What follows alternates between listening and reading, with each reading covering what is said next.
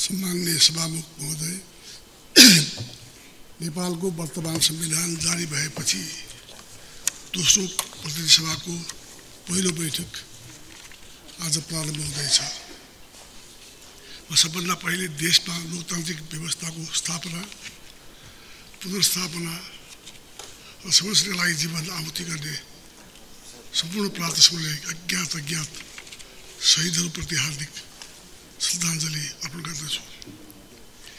देशमा सङ्घीय लोकतान्त्रिक गणतन्त्रात्मक शासन व्यवस्था स्थापना गर्न वर्तमान संविधान निर्माण गर्न योगदान गर्नुहुने सबैका प्रति उच्च सम्मान गर्दै उच्च प्रशंसा पनि गर्न चाहन्छु। प्रतिनिधि सभामा निर्वाचित भएर आउनुभएका सबै मान्य सदस्य साथीहरूलाई हार्दिक बधाई दिन चाहन्छु। तपाईँहरू पाँच वर्षको आफ्नो कार्यकालमा देश र जनताको हितमा काम गरेर सफल हुनुहुनेछ भन्ने विश्वास गर्दै कार्यकालको पूर्ण सफलताको शुभकामना व्यक्त गर्दछु। तपाईँहरूलाई निर्वाचित गर्ने जनताको भावना अनुरूप काम गर्न अनुरोध गर्दछु। मान्य पुष्पकपाल दाहाल प्रचण्डजी प्रधानमन्त्री हुनुभएको छ। उहाँको नयाँ नेतृत्वमा नयाँ मन्त्री परिषदको गठन भएको छ। नवनियुक्त प्रधानमन्त्री प्रचण्डजीलाई हार्दिक बधाई दिन चाहन्छु। उहाँको कार्यकालको पूर्ण सफलताको हार्दिक शुभकामना व्यक्त गर्दछु।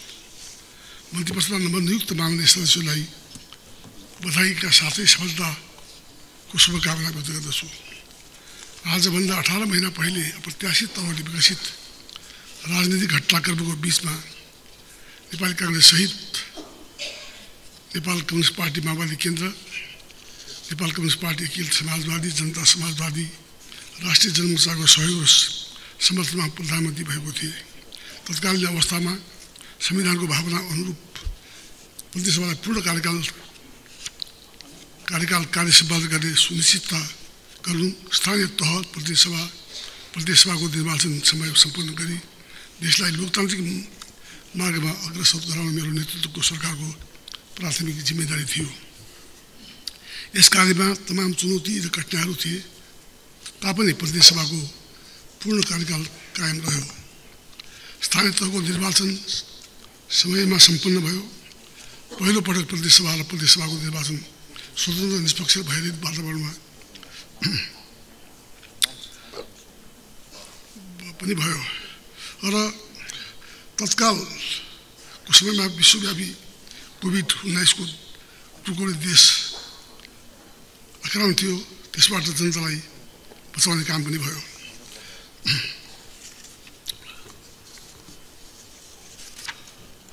अहिले भयरहित वातावरणमा जो सफलतापूर्वक सम्पन्न भएर आज हामी प्रदेश सभाको पहिलो बैठकमा बसिरहँदा मलाई हर्ष र गौरवको अनुभूति भएको छ। यस अवसरमा म सबैलाई हार्दिक धन्यवाद दिन चाहन्छु। आवधि निर्वाचन लोकतन्त्रको अनिवार्य शर्त हो स्थानीय तह प्रतिनिधि सभा र प्रदेश सभाको निर्वाचनहरू समयमा सफलतापूर्वक सम्पन्न गर्न सहयोग गर्नुहुने देशभित्र विदेशमा रहनुभएका सम्पूर्ण नेपाली दिदीबहिनी दाजुभाइहरू सबै मतदाता राजनीतिक दल निर्वाचन आयोग सुरक्षा निकाय समग्र कर्मचारी समेत नागरिक समाज बुद्धिजीवी समाचार जगत निर्वाचनमा प्रत्यक्ष र परोक्ष रूपले संलग्न भई सहयोग गर्ने सबैमा हार्दिक आभार धन्यवाद व्यक्त गर्न चाहन्छु। निर्वाचनको प्रयोग प्रयोजनको लागि अन्तर्राष्ट्रिय जगतद्वारा प्राप्त सद्भाव सहयोगको लागि पनि हार्दिक धन्यवाद दिन चाहन्छु। मान्य सदस्यहरूलाई विशेष रूपले आग्रह गर्न चाहन्छु यो प्रदेशबाट नेपाली जनताले धेरै अपेक्षा गरेका छन्। हाम्रो आपसी यात्रा माध्यम गन्तव्य स्पष्ट हुनु जरुरी छ। सङ्घीय लोकतान्त्रिक गणतन्त्रात्मक शासन व्यवस्थाको माध्यमबाट दिगो शान्ति सुशासन विकास र समृद्धि प्राप्त गर्न हामी सबैको साझा लक्ष्य हो। सङ्घीय लोकतान्त्रिक गणतन्त्रात्मक शासन व्यवस्थाको सुदृढीकरण आजको आवश्यकता हो। यसका लागि नेपालको संविधानको रक्षा संविधानको भावना अनुरूप कार्यान्वयन अनिवार्य शर्त हो। संविधानको कार्यान्वयनका लागि धेरै नीति तथा काल निर्माण गर्न लागि छ। संविधानको रक्षा र सङ्घीय लोकतान्त्रिक गणतन्त्रात्मक शासन व्यवस्थाको सुदृढीकरणका लागि यस अनुरूपको आवश्यक नीति कानुन बनाउनुपर्छ लोकतन्त्रको उन्नयनका लागि निमित्त संविधान कानुनका साथै नैतिक आचरण विशेष महत्त्व हुन्छ। यसको सम्पूर्ण ऊर्जा मनस्थिति व्यवहार र काम कारवाही नेपाली नेपाल र नेपाली जनताको वृहत्तर हितका लागि केन्द्रित हुन आवश्यक छ। साथै मान्य साथीहरूमा हार्दिक अपिल गर्न चाहन्छु प्रतिसभाको यो कार्यकाल संविधानको सुरक्षा कार कार्यान्वयन सँगै लोकतान्त्रिक गणतन्त्रको व्यवस्थाको सबलीकरणका लागि विशेष योगदान गर्न सकोस्। हामी सबै यसमा सफल हुन सकौँ।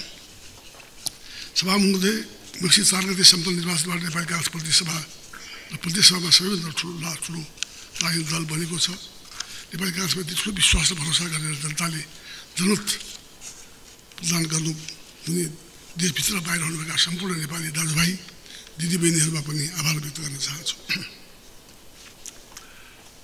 पार्टीका सबै साथीहरूले गर्नुभएको मेहनतको उच्च सम्मान गर्दै धन्यवाद दिन चाहन्छु सञ्चार माध्यमले जनतालाई सूचित गर्ने गरी असल काम गर्नुभएको छ। उहाँलाई हार्दिक धन्यवाद दिन चाहन्छु। नागरिक समाज बुद्धिजीवी लगायत सबै शुभेच्छिक प्रति आभारी छु। म सम्पूर्ण दाजुभाइ दिदीबहिनीहरूलाई विश्वास दिलाउन चाहन्छु। तपाईँहरूले दिनुभएको विश्वासमा ठेस लाग्न दिने छैनौँ। नेपाली काङ्ग्रेस जनताको अपेक्षा र पार्टीका साथीहरूको भावना अनुरूप काम गर्नेछ। हाम्रो असङ्ख्य शहीदहरू त्यहाँ तपस्या र बलिदानबाट हामीले प्रेरणा ल्याएका छौँ। नेता बिबी कोइराला सुवर्ण सुशेर गणेशमान सिंह कृष्ण भट्टराई गिरिज प्रसाद कोइराला सुशील कोइराला लगायतका नेताहरूले मार्ग मार्गदर्शनले हाम्रो यो यात्रा निर्देशित छ। म सबै नेताहरूलाई नेताहरूको योगदानलाई श्रद्धापूर्वक स्मरण गर्न चाहन्छु।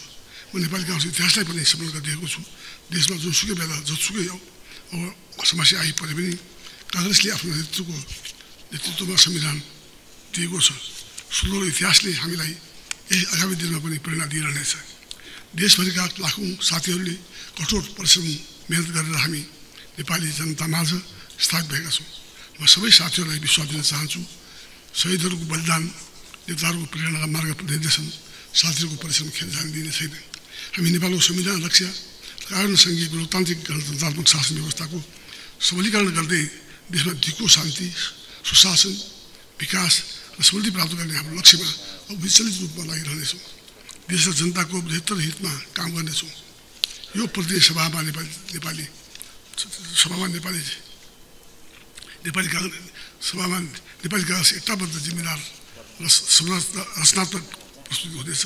जनताको जीवनसँग जोडिएको विषयमा हाम्रो विशेष ध्यान जानेछ।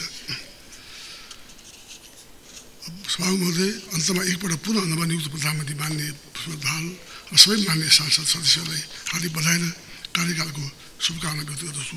धन्यवाद जय नेपाल।